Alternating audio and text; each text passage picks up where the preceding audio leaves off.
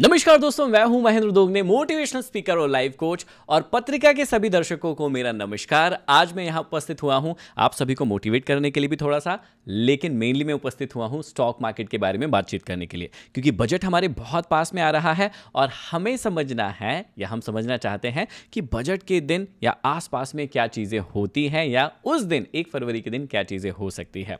अब यदि हम बात करते हैं कि स्टॉक्स का क्या हो सकता है, अब देखिए इस बार का जो बजट है, वो चुनाव से पहले आ रहा है। तो उसके भी अपने मायने हैं कि नॉर्मल जो साल होते हैं और एक जो चुनाव वाला साल होता है, उसमें बहुत ज़्यादा फ़र्क होता है।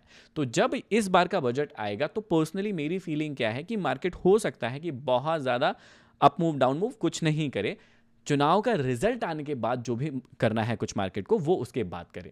तो लॉन्ग टर्म या फिर एक शॉर्ट टर्म हम ऐसे बात करें कि उसके बाद ऊपर जाएगा या नीचे तो उसकी हम बात कर सकते हैं कि यहाँ पर, देखिए स्टॉक्स में सिंपल सी चीज़ है यदि आप म्यूचुअल फंड एसआईपी करवाते हैं, उसमें भी सिंपल सी चीज़ कहते हैं स्टॉक मार्केट के अंदर भी सिंपल सी बात कही जाती है कि चीज़ें अच्छी चीज़ें, जब भी सस्ती होती हैं, तब आप उन्हें बाय करते हैं। पर्सनली मैं भी इस फंडे को अपनाता हूँ कि जब भी मेरे पसंदीदा तो जो शेयर की लिस्ट बनी होती है, जब वो मुझे नीचे आते हुए दिखते हैं या एक बॉटम लगाते हुए दिखते हैं तो मुझे बहुत अच्छा लगता है। जब भी वो अप ट्रेंड में या ज़्यादा अप हो जाते हैं, तब मुझे ऐसा लगता है कि बुरा सा लगता है कि यार, ये इतना ऊपर चला गया, अभी तो मुझे नहीं करना है। लेकिन मैं बॉटम में ही खरीद लेता हूँ, तब मुझे बड़ा मज़ा आता है कि चलो, ठीक है अप ट्रेंड चल रहा है और उसकी राइड को हम इंजॉय करते हैं।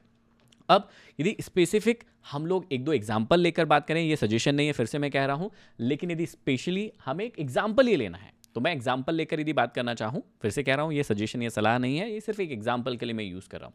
तो यदि हम एच बैंक के बारे में देखें कि एचडीएफसी बैंक जैसा बैंक जो कि टॉप अपना, उसका ये जो टॉप है, लगभग साढ़े सत्रह सौ सत्रह सौ का जो टॉप है, उसको लगाकर अभी बॉटम पर आया है। अब बॉटम पर आया है मतलब यहाँ पर अभी बॉटम बनता हुआ दिख नहीं रहा है। अब हम देखेंगे इसके बाद कि मार्केट का एक्शन क्या होता है। तो एक अच्छे भाव पर मुझे लगता है। तो मैं पर्सनली क्या करता हूँ कि जब भी वो खरीदने लायक भाव पर दिखते हैं मुझे तो मैं उनकी क्वांटिटी को लेता हूँ। अब ऐसे ही यदि अभी हम रिलायंस को देखें, जो कि दो एच और रिलायंस जो है, बाप है किंग है स्टॉक मार्केट के तो आज देखिए रिलायंस ने जो है लगभग लगभग सात परसेंट की एक बड़ी रैली यहाँ पर लगाई है।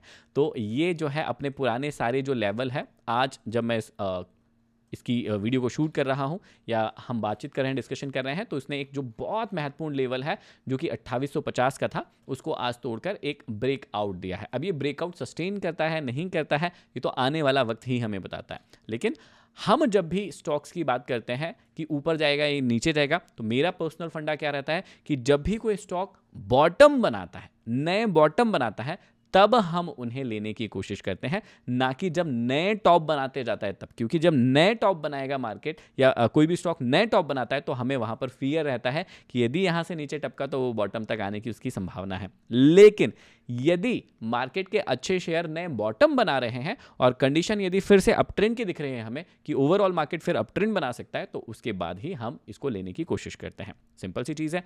अब यदि हम लॉन्ग टर्म बात करें कि लॉन्ग टर्म में चीज़ें कैसे हो सकती है। देखिए, कहते हैं कि इंसान हो या शेयर मार्केट बहुत ही फ़ेमस डायलॉग है कि इंसान हो या शेयर मार्केट जाना एक न एक दिन ऊपर ही है।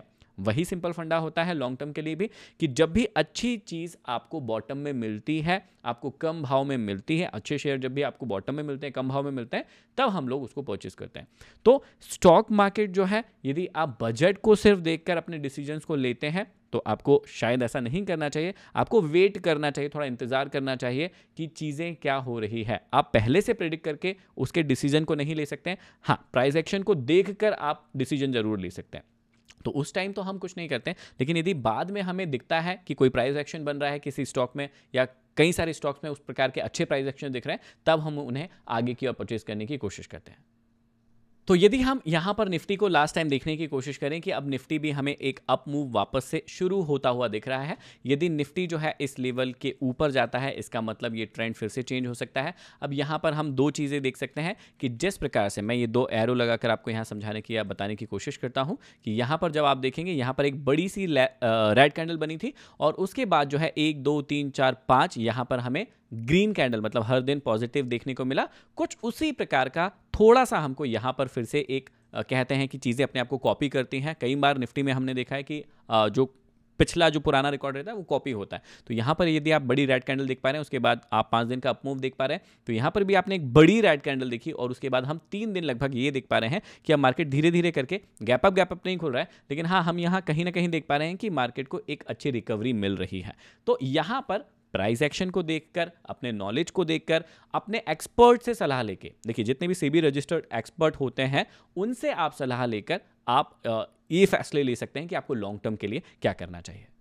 आशा करता हूँ कि सेशन से आपको बहुत सारी जानकारी मिली होगी और थोड़ा सा हेल्प इस चीज़ में मिला होगा कि आपको क्या करना चाहिए, क्या नहीं करना चाहिए। पत्रिका के सभी दर्शकों को एक बार मेरा फिर से बहुत बहुत धन्यवाद जो आपने इतना समय दिया अपनी खुद की लर्निंग के लिए और अपने आप को लाइफ में आगे बढ़ाने के लिए। आप सभी का बहुत बहुत धन्यवाद।